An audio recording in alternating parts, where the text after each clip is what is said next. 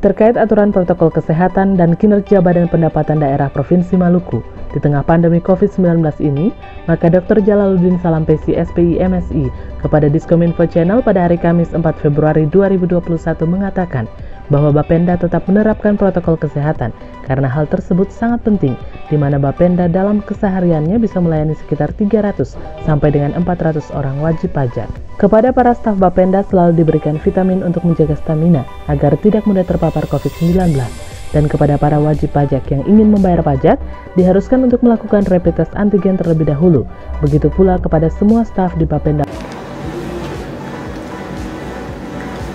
Badan Pendapatan Daerah dalam kesehariannya menerapkan protokol kesehatan sesuai surat edaran gubernur untuk memotong mata rantai penyebaran COVID-19 dalam pelayanan-pelayanan publik. Selaku OPD yang memiliki tugas pelayanan publik dan berhubungan dengan masyarakat, di mana setiap hari antara 300 sampai 600 orang kalau hari-hari sibuk itu dilayani oleh Badan Pendapatan Daerah. Dalam seluruh tugasnya, setiap staf yang melayani wajib pajak, terutama PKB atau biaya balik nama kendaraan bermotor, itu diwajibkan memiliki stamina yang prima. Program yang mendukung itu adalah kami melakukan eh, pembagian untuk pembagian vitamin untuk dikonsumsi, kemudian menerapkan standar melalui uh, rapid test antigen ya antigen yang kemudian untuk setiap wajib pajak yang mau mengurus pajaknya diwajibkan untuk melakukan rapid antigen yang mana petugasnya telah disediakan oleh Dinas Kesehatan.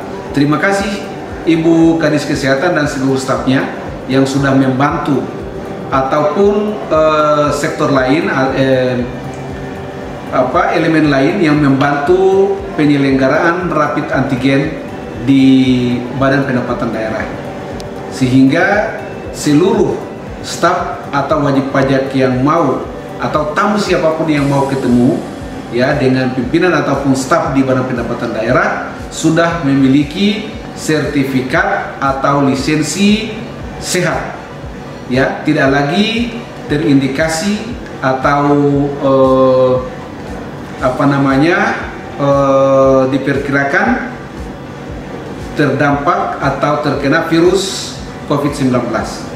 Inilah yang kemudian kami selalu yakin bahwa Bapenda sehat dan ini terbukti. Ya, standar yang sudah kami lakukan selama masa pandemi ini terbukti dengan 94 orang staf kami yang telah dites alhamdulillah semuanya negatif. Itu artinya standar prosedur pelayanan publik yang ada di Badan Pendapatan Daerah sesuai dengan standar yang diharapkan yakni tetap pakai masker, cuci tangan, kemudian menjaga jarak dan seluruh aktivitas di sini, pelayanan di sini, sistem itu kami terapkan.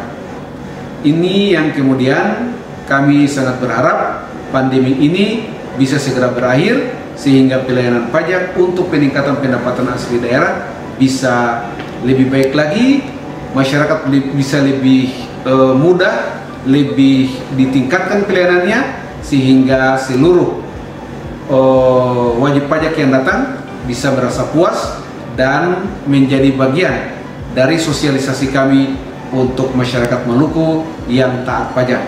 Karena pajak pasti juga akan kembali berubah program-program pembangunan kepada yang dapat dinikmati oleh seluruh masyarakat. Terima kasih.